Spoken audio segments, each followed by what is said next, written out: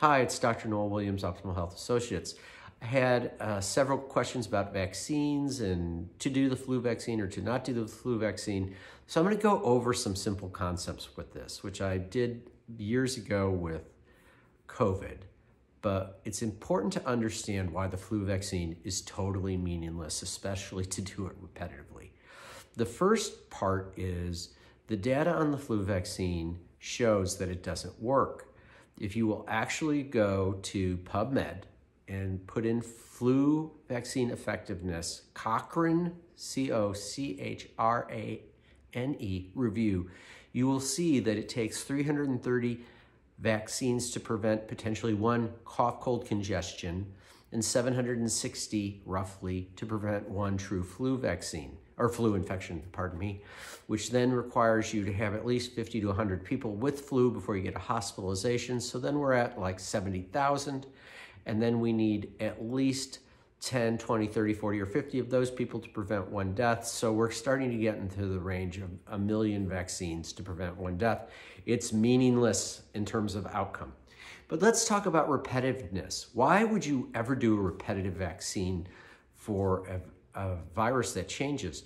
And uh, a guy named Thomas, I think it was Francis Thomas, or Thomas Francis, sorry, uh, Dr. Thomas Francis in 1960 wrote a paper and, and discussed this. He was a virologist and he named it original antigenic sin. So original antigenic sin is your first exposure to a virus or your first vaccine.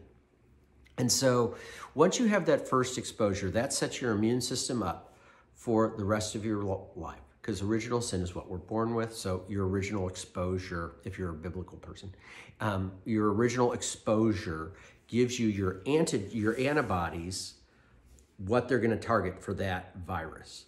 So as you get more exposures, there's something called antigenic laziness, or excuse me, not antigenic, antibody laziness from your immune system, where yeah, you get a new version of the flu and your body's basically going to be like, I don't really want to deal with this. I'm just going to make the old antibodies I made. I may make a few new ones, but really I'm not going to do much to fight this virus or re-stimulate my immune response. And so as you do more and more and more of these, you are going to get less and less immune response and dumb down your immune system, system which is also caused, called Hoskins hypothesis. So this is very, very well described starting in the 1960s and that doing repetitive flu vaccines were not going to be helpful and they were going to be destructive and they were going to dumb down your immune system. You were going to get the flu more, which is what actually happens when you look at double-blind and randomized controlled trials because the last one done anywhere in the world with a randomized control flu vaccine trial showed a 45% increase, and that was in Europe, in getting the flu if you got the vaccine. So for me, there's no purpose in getting a flu vaccine.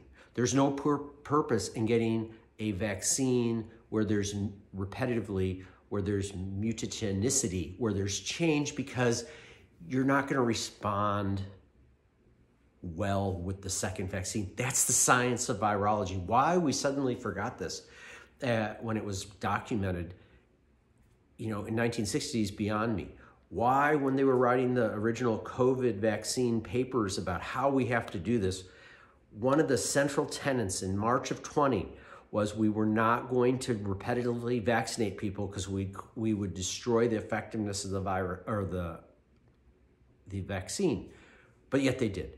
So that's the the story on that, and it's the truth. It's the science. So everyone who's promoting, oh, keep on doing flu vaccines no scientific backing. There's just an AI review of what's the single best thing you can do for the flu. Is it getting a flu vaccine? Did the AI program decide? No. It was take vitamin D.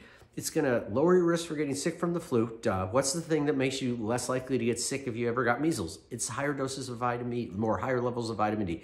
There's a direct correlate with most viruses that you're going to get sicker. COVID, measles, flu with low vitamin D levels let's do the basics. And the AI program also said, you know, and if you're doing vitamin D, you're going to get other benefits. Cheap, easy, no risk. Why not do that instead of do something silly like a flu vaccine? But that's my opinion. And again, I base it on science and the best literature that's available. Uh, that's my summary, and that's it. Take care. Bye.